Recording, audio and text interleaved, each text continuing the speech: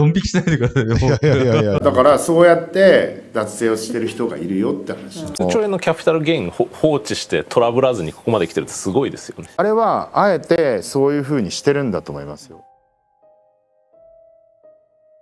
今、投資をしてます、頑張って。何投資ビットコイン。ビットコイン？ビットコイン買ったんですよ、めちゃくちゃ。1億買ったとかいやいや、もう、い。もう、めっちゃ今30億くらい買ってました。え？今、レちょっとね、レバレッジかけて30億分持ってます。レバーかけんの怖くない？レバーかけるのマジ怖いですよ。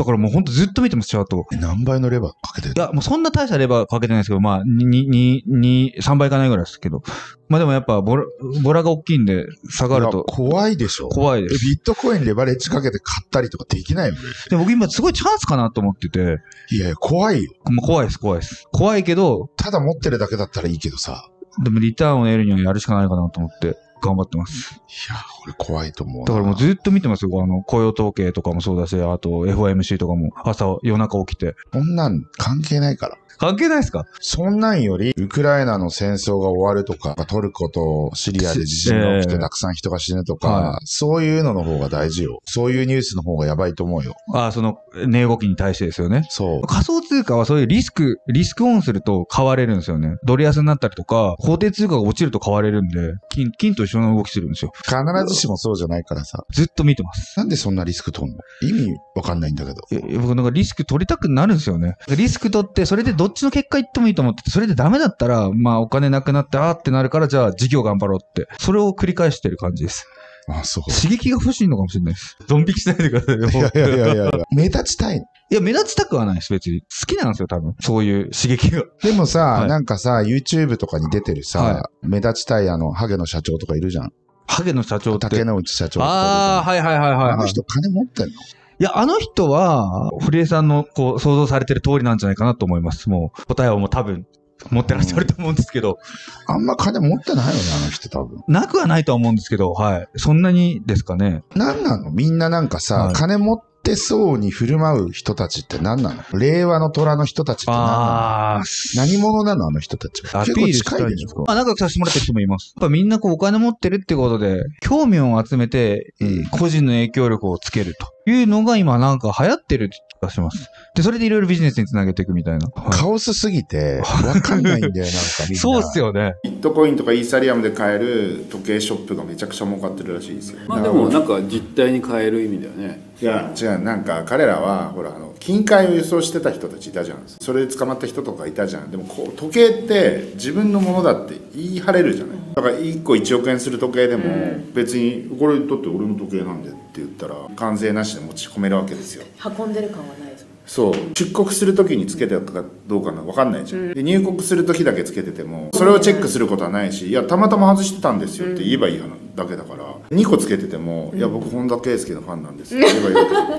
ら2個まで持ち込めるから、はい。だからそうやって脱税をしてる人がいるよって話、ビットコインとか海外持ち出しとか。例えば中国人とかが人民元をマイニングでビットコインに変えてそれで時計を買ってでそれを国外に持ちはい。出す、それで値段が世界的に上がってんのか。値打ちが張るもので希少価値があって持ち出しやすいのは時計なんですよ違和感ないですもん違和感ないじゃん。そんな高いプロダクトってもうあとはもう本当宝石とかしかないんだけど、ユーザーが増えてる間っていうのは先に入ってた人は儲かる仕組みになってるので、とりあえず伸びてるんですけど、どっかで伸びは止まるじゃないですか。現実通貨というか円とかドルとかに比べるともともとちょっとバーチャルっぽいというかあぶく銭感あるじゃないですかもともと。円なんかも本当はああぶく銭ですよね。本当はあぶくなんだけどなんか昔から使われてたりとか現実の紙があったりとかするんで、なんとなくあぶくじゃないっぽく見えるんだけど、BTC とかイーサーとかって、まだまだあぶくっぽいから、カジュアルというか、例えばそのイーサリアム長者とかビットコイン長者みたいな人は実際いるわけじゃないですか。10年前とかから BTC 持ってる人は大金持ちだし、僕もあの、イーサーのクラウドセールに参加して、僕たまたま買ったんですよ。あの頃って BTC も安くて、Twitter とかで簡単に BTC 投げ銭できるサービスとかあったじゃないですか。まあ、それでなんかビットコインとかモナコインとか僕もらいまくってたんですね。通貨というのは人気があればあるほど信用度が増すので、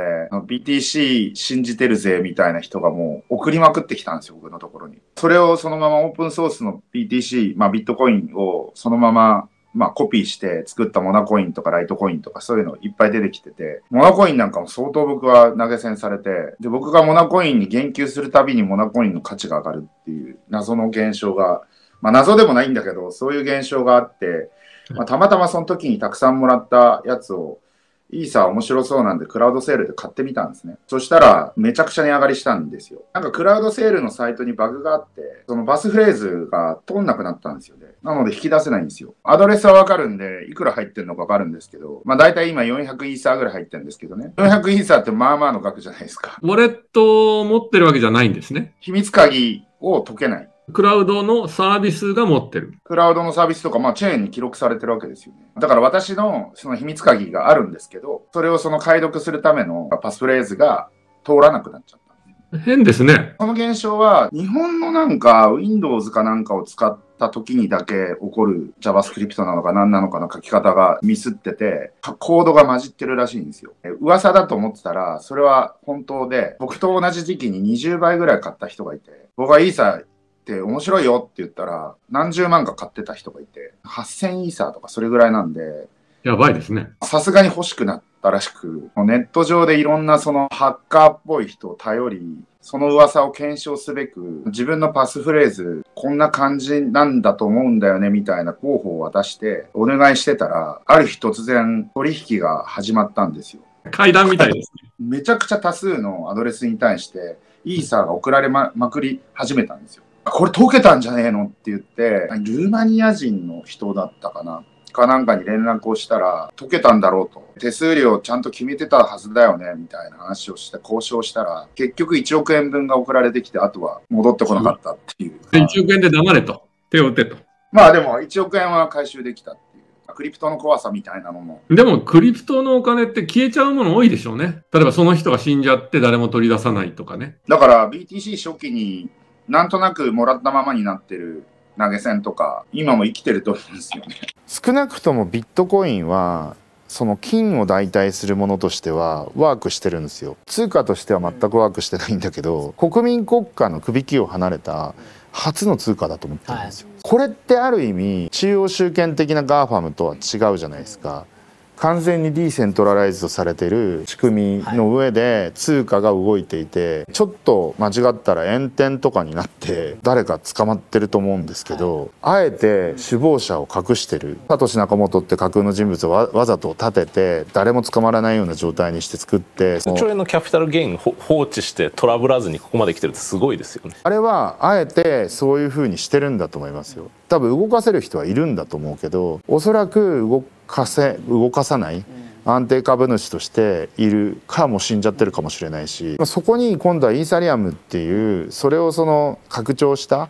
要は信用の中の通貨っていう概念だけだったビットコインこれは実験成功したんでじゃあそれ拡張して信用そのものをディーセントラライズしようみたいな仕組みはできたし一応動いてるしその上でいろんなアプリケーションが出てきてるがそれが完全にそのままディーセントラライズされて動くかっていうとコスト的に多分言い訳に使われるっていうんですかね。僕もなんかその GAFA みたいな特定の企業とかビジネスモデルを駆逐するっていうよりはむしろその国国家とか自治体とかが持ってたような機能に代替するものっていう方が正しいんじゃないかと思ってて正しい情報が何かっていうのを確定してそれに基づいて契約とか法律みたいなルールをちゃんと実行していくっていうことで社会としての信用力を作っていくっていうのはこれどっちかというとそのき企業とか経済っていうよりは国家政治の側が作り出してきたものじゃないですか。だこれを国家って暴力装置なしにできるような仕組みが作られたっていうことの方がずっと本質的な問題なのかなっていう気がしてて。だから今デジタル人民元とかっていうのが出てきてるじゃないですか。デジタル人民元の方が興味深いなと僕は思っていてデジタル RMB って要は暗号通貨のふりをしてんだけど全然クリプトでも何でもないわけですよ。人民元がネット上にあるだけの話で。でも彼らはそれで米ドル紙幣支配体制を塗り替えようとしてるわけです。